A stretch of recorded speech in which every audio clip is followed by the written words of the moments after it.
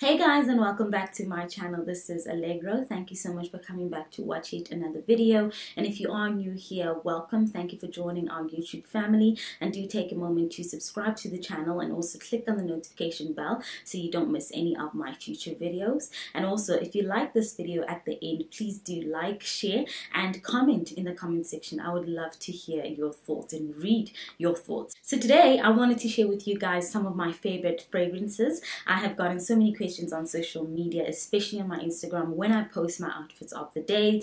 Um, and it's such a pity that we don't step out as much anymore um, because of the lockdown. But even when I'm home, I love to smell good. I have a scent for day and nighttime. So I thought I would share some of my favorite fragrances with you guys. And also, I would love to hear what are some of your favorite fragrances, what you've used before, what you liked, what you didn't like. And um, yeah, so I will start first and foremost with sunflowers. This one was a gift from um, Elizabeth Arden. It's called Sunlit um, Showers, and I absolutely love this. It's really good um, for when I come from like a workout, if I do a quick 15 30 minute workout just to freshen up. I love using this. Of course, you do need to shower, you do need to, you know, freshen up before putting this on, but I absolutely love it. Haven't used it as much as you can tell, but I've used it a couple of times and it's one of my favorite, just refreshing scent. It's not something something that I would put on for you know the entire day, or if I'm stepping out in the evening, it's definitely a daytime um, fragrance. But I absolutely love it, and thank you to Elizabeth Arden. This is not sponsored at all. They sent me these fragrances a couple of years ago, but I thought it's worth a mention. And another one from Elizabeth Arden is um, the green tea pomegranate. I absolutely love, love, love the scent. Um, it's just it's different. I've never. I'm trying to open this. Oh, it's a little too hard.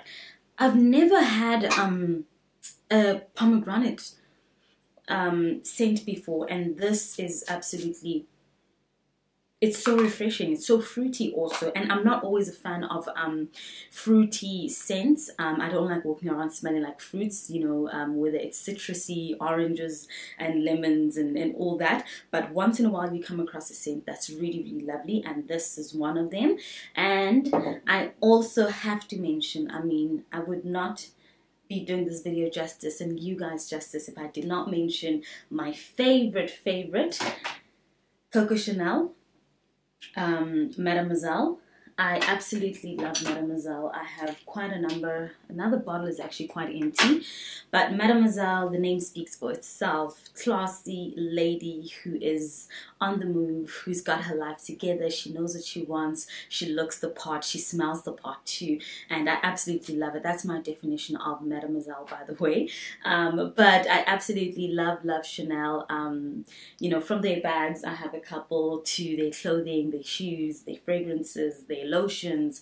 I just love what the brand represents and I absolutely love their packaging. Just that my boxes are way up high, um, I would show you the packaging. It's the type of packaging that you keep. You do not throw away Chanel um, packaging. It is just amazing um, and I love, love, love the brand. And still on Chanel. Oh, I also have the Mademoiselle um, in the, the travel um, size and I love how the bottle just kind of see that it just kind of twists spray and close. So I got this at um, the Chanel store in Rodeo Drive in um, LA a couple of years ago when I went there for a visit and I absolutely loved it. Loved the packaging, loved the shopping experience there. It's it's amazing. I could go on and on about Chanel. Um, and my last well, actually, my second last Chanel perfume that I want to highlight is um, Gabrielle. I love this um, non-intense version. I know they have an intense version now that just came out um, a couple of months back or so. Um, but I love this one, the first one that came out, and it's it's my nighttime. I do use it sometimes during the day, but I think it's more fitting for nighttime when I'm going out for dinners, um, a movie night, stepping out with friends for some drinks. This is absolutely a favorite for my nighttime um, scents. And then another favorite for nighttime, which is a Chanel classic is Chanel number five. You cannot go wrong um, with this classic. It's such a vintage. Um, at first, I didn't really like the scent because I thought it was a little too vintage. You know, it was a little too mature, way mature than my age, but I got to just love it, you know, um, and I, I now kind of just appreciate the scent. And it's again one of my favorites for nighttime and still on nighttime fragrances, Gucci Guilty you cannot go wrong with Gucci Guilty. They also have an intense version um, and also the men's um, edition also of the Gucci Guilty. I absolutely love it. I started using Gucci Guilty when I was in university. I think it was in my second year. Um, I went to an event um, when I was still, you know, heavily blogging on my on my blog blog site Orgel Entertainment, and I was invited to an event, and um, they gave us gift packs when we were leaving, and we got little samples, and I loved it since then. When the sample finished, I was like, you know what, I need to get that scent. And I got it. I've been using it ever since. I think I'm on my fifth or sixth bottle. I don't know, but I always have it in my collection. It's one of those that I really, really like. And then I've got here uh, DKNY Stories. This was a gift. I absolutely love it. It's also very refreshing yeah, brings back a lot of memories. And I love how scents um, do that, you know, when you are either at a mall or in a restaurant or just somewhere out and someone passes by with a certain scent that triggers a memory. I know I'm not the only one. Um, whether it's, you know, a memory of friends or a memory of your childhood, just the scent will trigger um, that memory. And I always turn around and be like, hang on, you smell like so and so. That person that just passed me smells like this and that, you know. Um, and I absolutely love the stories from DKNY. I have been using it as you can see. Um, it's quite lovely. I use it a lot for my daytime. Um, and then I've got here, let me highlight this no-name brand. Um, I should ask my mom when she bought it, but I, I, have absolutely no idea. And I think this bottle for me is it's more than just about the perfume. It really represents the relationship that I have with my mother and how she introduced me to being, um, you know, a, a, young lady who loves and takes care of herself, starting from how she smells, how she looks, how she presents herself out to the world, and first and foremost to herself. When you leave the house, how do you look? Do you love the way you look? Do you love the way you smell? Do you love how your hair looks? And so on. So I remember I was um, in matric. Um, I was 18, going on 19, and about to just step into the big world and go to university. And my mom gifted me this bottle. I don't know where she bought it from, doesn't have a name, um, and I just kept it. She probably just got it from someone who was selling perfumes. But what I love about it is the memories that, um, you know, it just triggers and it brings back, you know, just how my mom from that young age wanted me to start being presentable to the world. Um, and she invested in just getting me this bottle. I do love the little bottle. It's it's quite cute. Um, not really a fan of the scent itself. I've used it a couple of times. I think in my earlier um, days when I was in university, but I stopped using it and I want to keep it um, just as like a souvenir, you know. So I love that.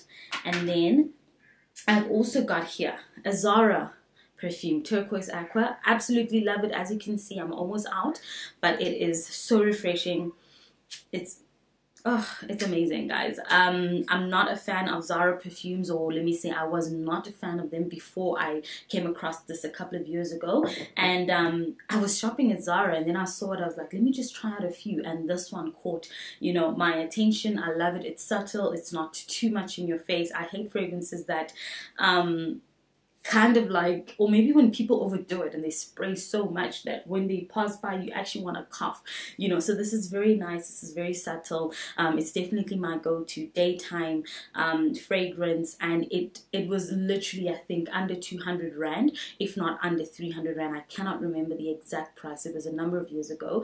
Um, but again, I just want to highlight: you do not need to break the bank in order to look good, feel good, smell good, and so on. You know, you don't need to go to designer brands alone, your Gucci's, your Chanel's, DKNY's, and so on. Um, they are, you know, um, brands such as your Zara's and other brands out there that just smell as amazing and you will feel just as good. Um, it doesn't have to be a designer brand. And if you do hear some noises in the background, it's my son playing with his cars and I think dinosaurs. Um, but yes, guys, and last but not least, I just want to highlight another no-name um, brand here, which is my own perfume.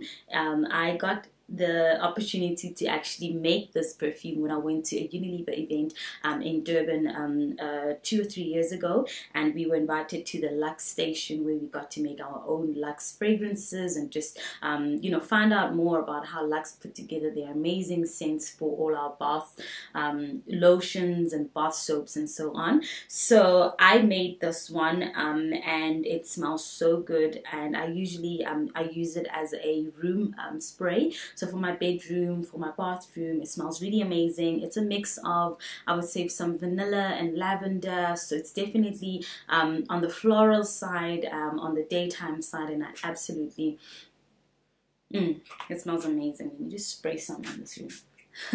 love it um, and it was a great experience You're just kind of like making your own scent and seeing what goes into that um, so i love the experience so those are some of my favorite um, perfumes guys. Let me know what your thoughts are. Let me know what your favorites are. Share down in the comment section. I would love to read more about you know what you guys love. And again you do not need to break the bank. You do not need to go for high-end perfumes just so that you can smell good. Trust me if you have a good fragrance that can even go from day to night that's great. And if you can go from maybe um, if you can go for two scents maybe for your daytime one and then also something that you transition into for your nighttime activities if you're going out for, you know, um, drinks or dinners with friends, or you're stepping out on a special occasion, then you know that that is my go-to.